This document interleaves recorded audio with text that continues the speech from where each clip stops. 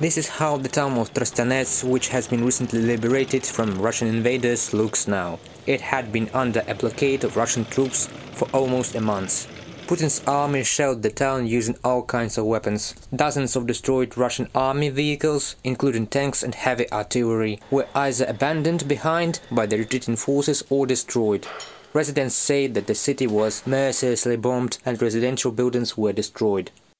Personally, I have not seen much. In the area beyond the railway station, many residential buildings were damaged. Personally, three missiles flew into my place. Now Ukrainian soldiers are checking the occupiers' abandoned vans. The state emergency service personnel are removing boxes of ammunition from the streets. Residents say that during the day, the Russian soldiers shot at residential neighborhoods and at night they went door to door and took food from people.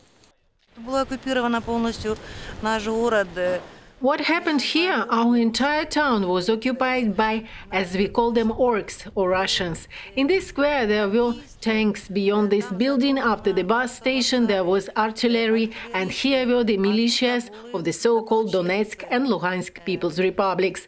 In the evenings, they came to us, to our houses and our basements, and stole our pickles, potatoes, lard, and cucumbers.